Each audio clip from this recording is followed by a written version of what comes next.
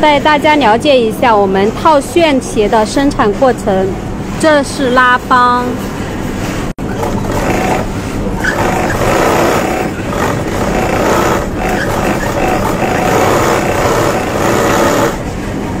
拉帮完，我们进行的是半套楦操作。前面是多了一层，呃，增加舒适度的里布，然后前面是再进行一个前帮。进行前方基地行，